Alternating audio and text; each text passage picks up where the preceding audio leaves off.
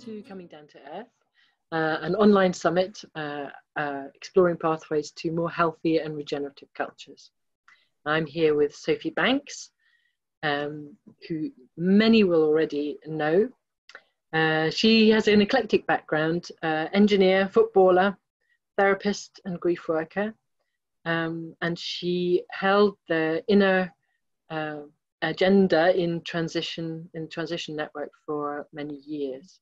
I don't know if there's anything you want to add to that very whistle stop tour, Sophy. Um, I sometimes I you know have this weird background. What really interests me is human systems and how they work, and and uh, I feel like a driving question for my life has been why we make unintended consequences. Why do we create so much suffering for ourselves and for each other when I don't believe that it's anybody's deliberate intention to do that. Um, so I feel like, yeah, I've spent my life trying to unpack that and come to deeper and deeper understandings of it. Mm. Thank you. Which is, which is so perfect, particularly for this yes. week, week one, where we're looking at some of those the reasons for why we um, why we struggle so much um, with with conflict exactly that that that nobody wants and yet we seem to um, get ourselves into deeper and deeper holes with it. So what's what's what's your approach? What is that kind of um, uh, viewpoint that you're coming from to with all of that? Uh, part of my journey was was start, you know was to start out in science and technology you know and um, I think it's interesting how much of our culture puts an emphasis on that as the place of knowledge and understanding.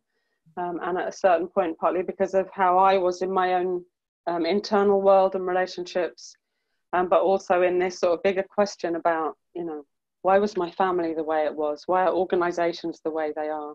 Why is our world so clearly on a, dis- on a path of destruction and not responding? Um, I ended up uh, on, on a much more inner journey, doing my own therapy and then um, training as a therapist. And even in that, even in that world, getting really interested in the systemic approaches. So, um, yes, so so starting to see personal, uh, unconscious, so that there are parts of us uh, within us that are out of our awareness that are actually very powerful in in organizing how we are and how we experience things and how we create relationships. Um, and you know, as a psychotherapist, you learn to look at that at an individual level. I was also interested in family constellations and um, other different cultural approaches to pathology and healing, you could say, suffering and its relief. Mm. So, so I also started to see, and, and part of my experience in my football team was looking at the systems of collective trauma, you could say, of collective um, disruption of things like race and class, colonization, gender, sexuality. Mm. Um, so I got really interested in that aspect. And I think I was always trying to find people that were putting these different levels of scales together.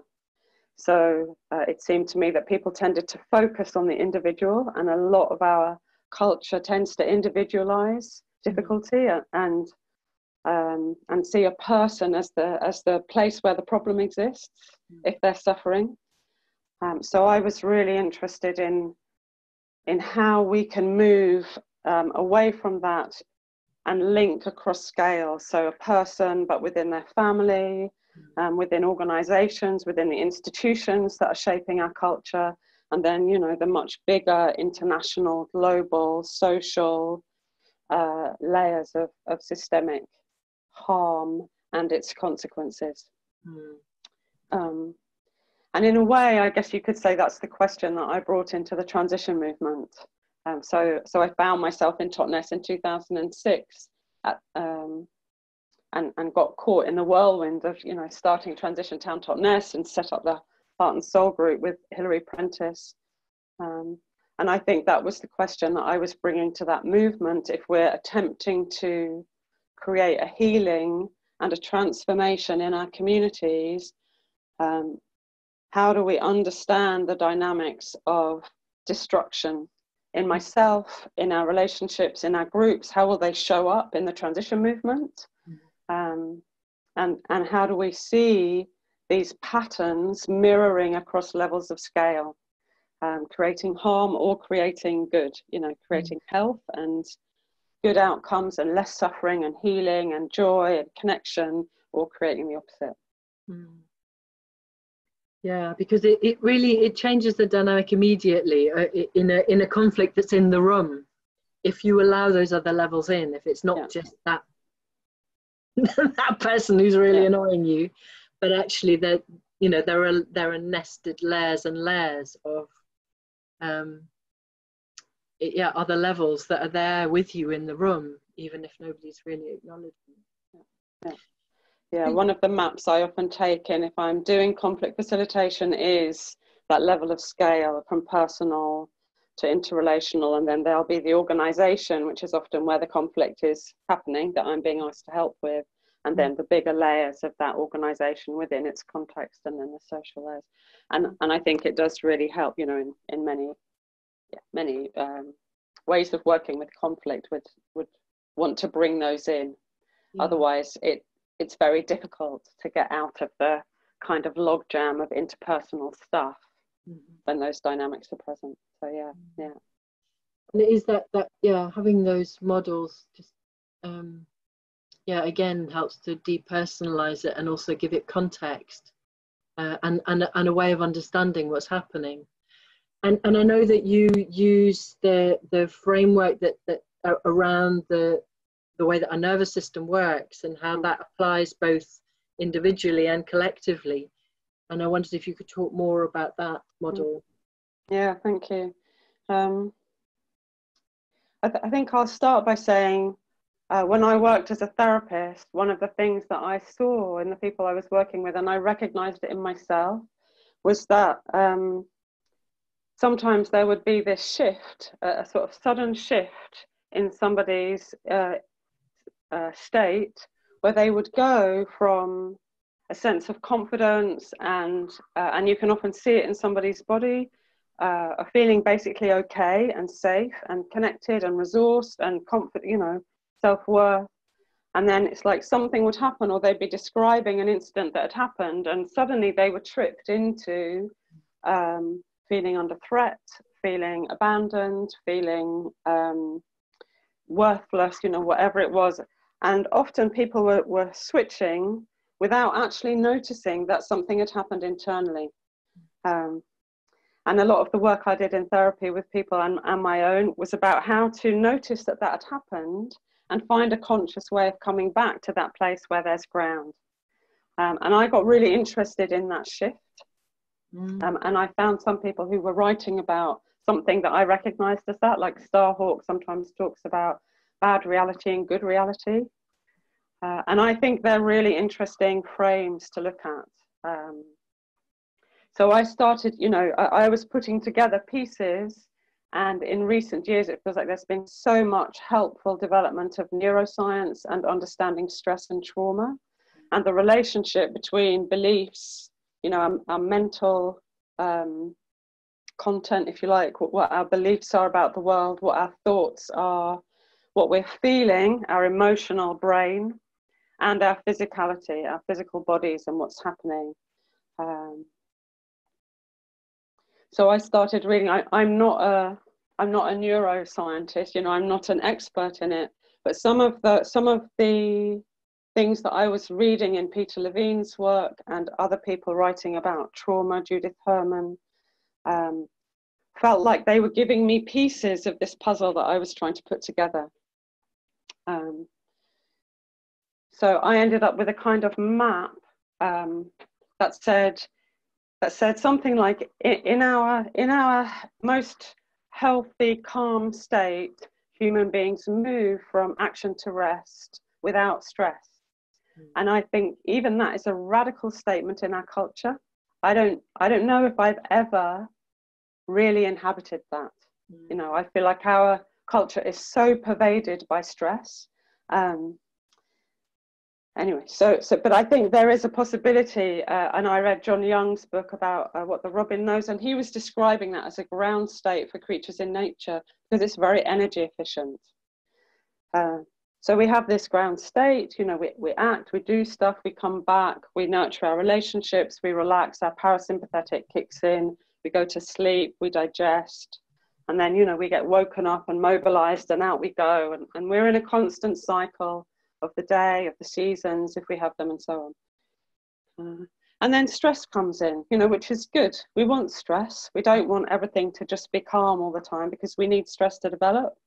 Uh, and stress comes in, and our nervous system puts us into different ways of managing the stress or um, different responses to it that might include negotiating. Uh, if we can't negotiate our way out of stressful problems, and a lot of the stresses that we have as social animals are peer to peer stress, you know, it's within our social group, it's not actually the predator in the jungle, it's not about being attacked from outside, it's about our social position, our belonging, um, our obedience to the norms and the rules so that we're not ex- excluded. Um, so we can negotiate uh, and then if that's not working, we go to more extreme stress states, which might include things like fawning or trying to appease the other, uh, but it might also include flight and fight, which are the sympathetic nervous system responses that are very commonly known.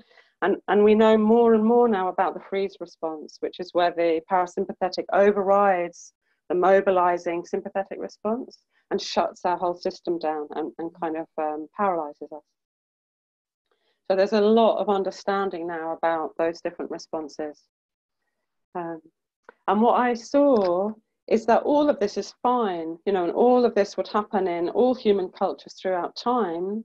But what we need is a way of coming out of those, those activated high arousal stress responses that brings us back to a ground state of flow between action and rest. Um, and I was interested in finding, you know, what are these? What what cultures have had what kind of practices?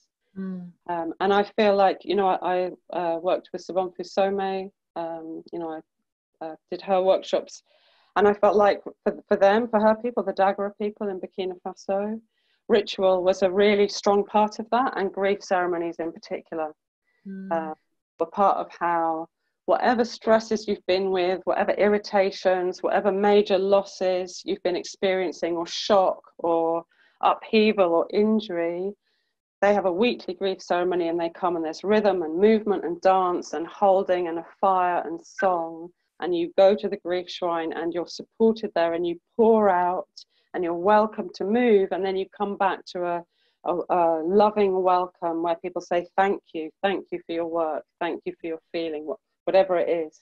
Mm. Um, so there's this understanding that in order to keep the emotional um, space of the village clear, we need to keep letting go of the of the pain of living, and we need to do it through our bodies as well as our feelings. Mm. And Rob had another one. Uh, Rob Hopkins from the Transition Movement interviewed someone at Standing Rock and asked her, one of the grandmothers, you know, what do they do with the people coming back off the front of the front line? When they're in that state of shock or the violence that impacted, she said we put them in the sweat lodge. It's like, oh, that's another technology. That's a social technology for creating this re- return path. Mm. And I feel like we've only rediscovered it, you know, in, in a way in recent years. Peter Levine's work, um, somatic experiencing, and there's, you know, other much more embodied ways of working with with trauma. Mm. And I feel like the West is catching up with, you know, cultures that that I think, had to find these ways because if we don't have that return path, there'll be people walking around in our in our villages or in our communities mm. that are not connected to the present moment. And I think it's helpful to understand trauma as a residue from an overwhelming moment in the past that is still operating as if it's present in the present moment. Um, and I think there's also very helpful models around, you know, the, the, the residual structures inside us from trauma. Um, and it may be helpful to talk about those a bit. I'm, I'm, I'm kind of interested that, you know, we, we have kind of, um, you know intact cultures who who are who are you know using perhaps traditional perhaps more modern ways to process trauma socially and we have our kind of physical responses. So we will shake or cry if we've been um, really upset. And that's part of our body's kind of way of of dealing with and processing that that trauma. But i, I just wonder what your reflections are on why um, particularly global northern countries have have uh, lost connection with our you know presumably at one point we had much more of that kind of shared collective cultural ways of processing um, our our shared trauma what what happened mm. i mean in some ways i think that's a in some ways i think it's kind of the 50 million dollar question mm. um, mm. and i've seen and come across various people's attempts to understand that mm. um, so, I, so for me, there's this landscape that I feel like I've been describing of what a healthy culture includes. So, a healthy culture includes this ground state, and then we have stress, and we have possibly shock and things that are overwhelming. But we have these practices that bring us back. Mm. Um, so then I got interested in the question: Well, what happens when the whole culture is traumatized? What happens when something, an event happens that is so catastrophic or overwhelming that the people that hold the knowledge of those ceremonies or those practices are wiped out or destroyed? And, and then I think the culture moves to a new place where now there's lots of people in that system that have got trauma in them, you could say, um, that are in the, fr- the freeze or in the still activated hyperarousal of fight flight uh, that have lost the capacity and we've lost the practices to release that.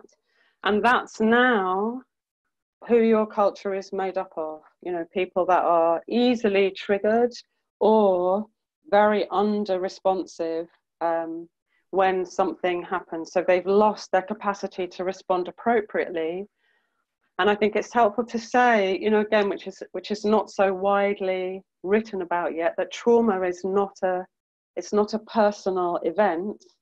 Mm. Trauma is not the overwhelming thing that happened. Trauma is the failure of the social structures around us to bring us out of the state of freeze. So, so trauma for me is a collective issue. It's always a collective issue because when we're in that freeze, we can't necessarily, you know, we can't just get ourselves out of it mm. because we've lost access to our capacity and our ground and our holding. So, so I think somewhere in all of these cultures that operate like the one I grew up in, mm. there's somewhere in the history there are collective events where the the indigenous, you know, the the practices that were bringing people out of stress states or trauma states have been lost and now the system is organized by stress states you know so so we're organized now by states of consciousness that are run by our physical bodies that are that are telling us the world is a dangerous place. It's every person for themselves. Um, you know grab as much power as you can because uh, that other person is is going to be out to get you or the kind of collapsed place of there's nothing i can do I'm completely powerless to change anything. And the whole uh, underlying unconscious belief system of the culture is pervaded by the experience of collective trauma, which is life is overwhelming, pain is overwhelming, there's not enough support to hold me. You know, uh, if something bad happens, there's no point in trying to release it because I'm more likely to be punished or shut down or abandoned than held and supported mm. because the elders, the layers of holding of the structures that let that happen have gone. Mm. So we've got wounded people in power with their own inner, very strong survival structures that say, don't feel that it's going to um, stop you from being able to function. You know, part, part of the residue after trauma is to say, uh, don't let those feelings come up because you won't be able to function at all. Mm. So we end up with these survival structures that are partly keeping the uh, the memory out out of awareness, which has been a fantastic evolutionary strategy and skill. Mm. Um, and then we've got this the survival bit that goes on that can function in the world, but a bit of us is always feeling not quite present. Mm. Um, and you know, many people have that experience of, of you know they get to meditation or they do yoga or they finally stop all the busyness, which is what a lot of us do to keep this stuff away, or we you know have an addiction, or we soothe it, or we mm. you know we do anything to our pain but feel it medicalize it, we pathologize it, we ignore it, whatever. And we finally, you know, sit and make some space, which I think is part of what's happening in this lockdown. And instead of finding peace, all of this stuff comes up of anxiety or constantly running thoughts or grief that we have no idea where it's come from. And suddenly into the space starts to come all the things that, you know, we've been deliberately keeping out of awareness because we don't believe there's the resource to deal with it. Mm. Uh, so I think, you know, I think it's interesting to ask that question about global North culture. Mm. And I think it's really important to ask that question about organizational culture. Where, what do we do with our pain in, in organizations? Are our tears welcome? Mm. Are we allowed to speak about our guilt for the suffering that our product is causing? you know what what happens and i feel like the culture of organizations itself has come out of a very traumatized culture mm. so part of the culture of being a professional is that you're managing your emotions and you're not bringing them into the workplace mm. and if you do that you're seen as unprofessional or too weak or too something to actually uh, to actually yeah be be a, a competent adult professional, let's say. And I think that's part of, you know, that's one of the structures and patterns of our culture that is killing us. Mm. Is that uh, we have, you could say, you know, lots of people have written about it, psychopathic organizations, because they don't have a capacity to relate to the pain. And you're required to cut that bit of you off when you come to work. On the whole, I mean, it's not, it's not, you know, it's not universally true and there's organizations that are trying to do things differently mm. so yeah i mean and and following on from that for me our relationship to pain personally and collectively is an absolutely core organizing principle of whether human cultures are healthy or not it's absolutely central so as an engineer you know i look at pain and i say that is the most important feedback signal in a human culture because pain is telling you, suffering is telling you when you're out of relationship. It's telling you when your cultural patterns aren't working. You know, it's telling you when something is going wrong. So to, to cut that off and, and not have spaces where we not only feel it, but where we feel it together and make meaning of it as a collective phenomenon kind of completely paralyzes us from understanding the predicament we're in. Does that make sense?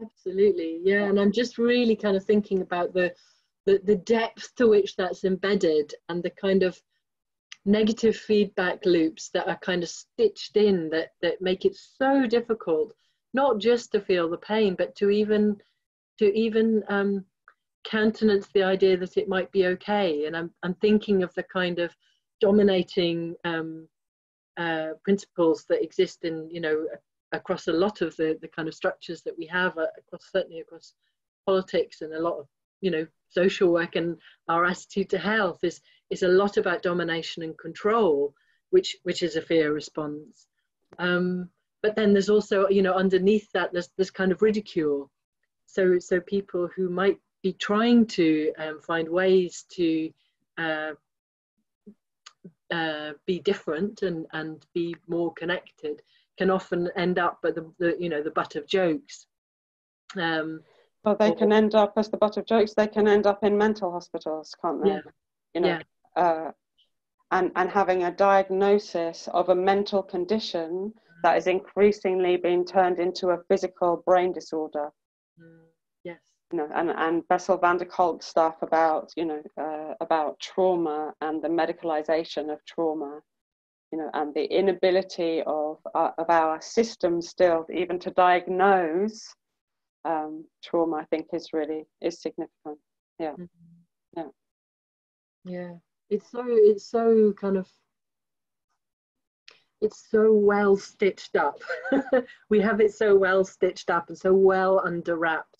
It, it's um, you know I think I think that's probably quite a good moment to bring this this uh, part of our conversation to to a close because we're going to look at more in depth at the kind of different cultural responses that that happen in traditional cultures and also that can be created um, between people. Uh, is there hmm. anything la- last thing you want to say about this kind of like this difficult sort of um, conundrum that we've we've got ourselves into if, before we there's a, there's a couple of things that I'd that I'd really like to add um, mm. and one of them is is to say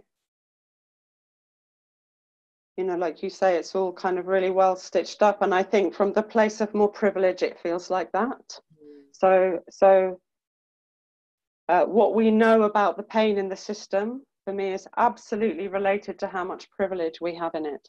And I think it's really important to say that and to acknowledge that how it looks if you're poor, black, lesbian or gay, disabled, in terms of your experience of the pain in the system and how it looks, you know, if you're somewhere at the other end of those, uh, you know, uh, things that, that can divide or unite us. Uh, it's really different.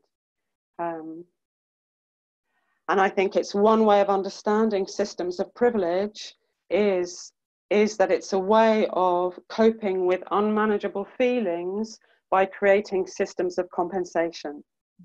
Um, you know, and one way of understanding uh, these big social systems like patriarchy or colonization is that a group managed to get enough power to put their trauma into somebody else.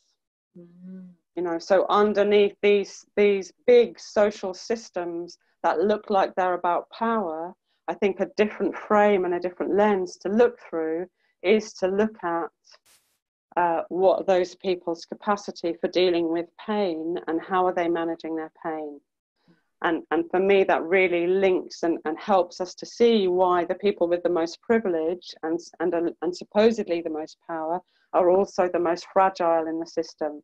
Because actually, they don't, they haven't learned to deal with shame, guilt, suffering, um, harm. You know, they've been kind of, they've, they've been protected in the system and then they'll keep the system going feeling unable to manage the consequences of losing that system. Mm.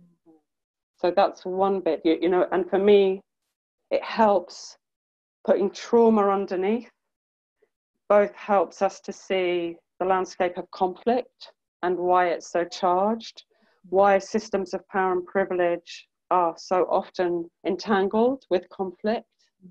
because who feels what pain and how we respond to it is so conditioned by that. And also, it helps us to see why, as a system, the people in power would rather drive the system to a collective suicide than change things. Mm. You know, because changing things means letting go of the privilege that's protecting them from having to deal with whole mass of things that they feel completely ill equipped to deal with, and nothing in their world offers them an understanding of it or a possibility of healing it. Mm. Um, and the last bit that I just want to add uh, yeah. is to come back to that original that I started with that story of working with clients and seeing that there was this shift. Um, and for me, this shift is is to do with I, I, I think there are two very deep psychological frames that operate within us. And when I say psychological, I mean mental, emotional, physical, or um, ways in which we're organized. Mm. And one of them is the one where we can access a feeling of being connected, valued, resourced, safe, empowered. Um, we have those experiences. I mean, some of us may have very, very little of that or even none, but most of us had some of that where there was enough secure attachment for us to get a sense of self worth. So there's a there's a sort of whole physical organization in ourselves where we have ground and we can feel confident to go out and meet the world. and then something triggers us, you know, something that reminds us of an early experience, of an unprocessed, um, something that happened to us later, you know, something that we might call trauma, something that's left us with a residue, and we're suddenly tripped into the landscape of trauma. Mm. Um, and that landscape is pervaded by fear and a feeling of isolation, um, a feeling that there's no holding, uh, and and our nervous systems will will do different things in order to cope, either under respond or over respond, or you know, um, take us out, dissociate, take us out completely. And for me, that's what's happening when we're in charged conflict. Is there's always some sense of threat, whether it's to our belonging or our physical safety or to our access to resources, where we're in this, uh, where both sides are in this um, tr- triggered landscape of trauma. Mm. So if one person is still holding the ground, we can often find our way out of it. Um, but when we're both triggered, that's when conflict starts to feel like an escalating fight to the death or you know something that's unmanageable and out of control. And it's because we're accessing those parts of ourselves that did feel out of control but somewhere back in the past. Um, and for me again that's a really helpful map of of what's happening when we're in conflict together. So mm. thank you for letting me include that bit you know. Oh, absolutely it feels so familiar i can feel it i can feel it in my body you know just, just from really recently of, of having that gone through that dance and it's so important that what, what i was i was kind of groping for you know a, a way of dealing with that in the moment and i feel like the point is that there isn't. Once you've once you've been tripped into that state you're not coping. And it's only through taking that away and and working on it and seeing this as a kind of a process of growth over time that you can maybe start to get your head round and, and like you were saying before kind of find your way back to the bit of you that, that can cope. Because within that state it's like the, the definition of it is you're not coping or your you know your your your nervous system is is finding different ways but it's it's such a kind of painful and uncomfortable place to be in. Yeah. Yeah. Yeah i mean we're going to talk more in an, in, a, in another one of these about about the way out yeah. but but developing that witness place is absolutely key mm. and and for me that's part of wanting to share the sort of cognitive understanding because once our brain has got an understanding you know it's like i'm lost in the landscape if i've got a map i can you know some part of me can go oh i'm here. Mm. even while i'm still completely lost if i know that i'm here you know i, I can start to organize things a bit differently. So maybe that's a good good place yeah. to end. Yes, yes thank you eva. fantastic. Thank you so much. Look really lovely to, to listen to you. Bye bye bye bye